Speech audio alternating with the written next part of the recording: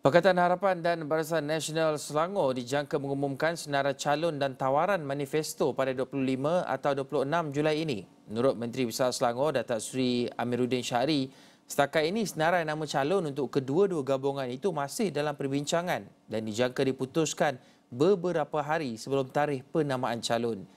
Beliau yang juga pengurusi PH Selangor berkata, yang penting kedua-dua gabungan sepakat keboleh menangan sebagai formula asas untuk meletakkan calon. Dalam pada itu, Amiruddin turut memberi jaminan bahawa tidak akan ada pertembungan kerusi antara PH dan BN Selangor dalam satu kerusi Dewan Undangan Negeri. Malah katanya lagi, masalah kekeliruan untuk mengundi calon mana tidak akan timbul kerana satu kawasan DUN hanya akan ditandingi oleh satu individu mewakili gabungan itu. Suruhanjaya Pilihan Raya menetapkan PRN di Selangor, Kedah, Pulau Pinang, Kelantan dan Terengganu serta Negeri Sembilan akan diadakan serentak dengan 12 Ogos sebagai hari pengundian manakala tarikh penamaan calon pada 29 Julai dan pengundian awal pada 8 Ogos.